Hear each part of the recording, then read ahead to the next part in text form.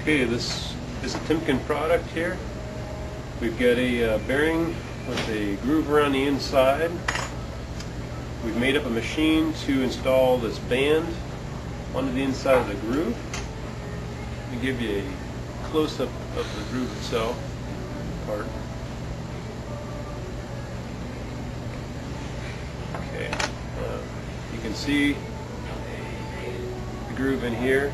What this groove is for, we've got these two set screws. And the band that we put inside is designed to keep from marring up the shaft that, it, that it's clamped onto. So, what we've done is uh, we've created this machine here.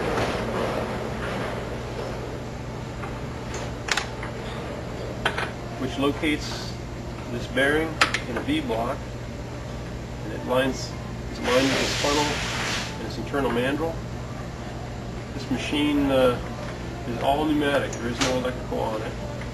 You simply slide the band up onto the internal mandrel and we've got uh, uh, 80 psi on a regulator and we have a uh, uh, this is called an air mite. It only allows you to you see down this far? Back it off a little further.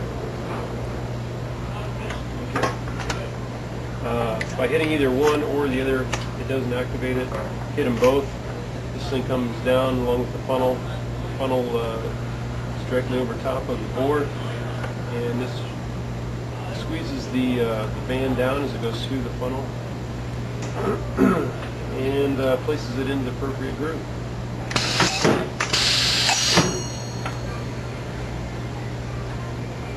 So.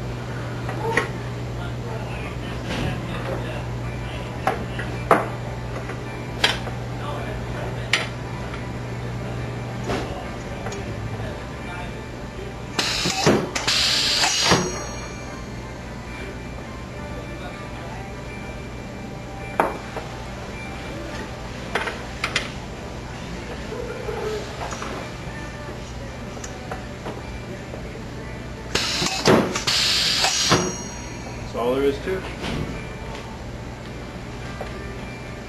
Give you a close up here.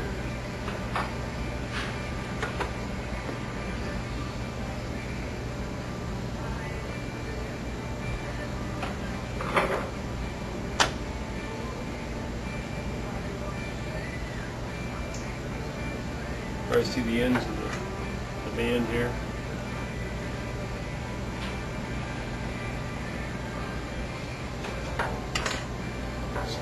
All three.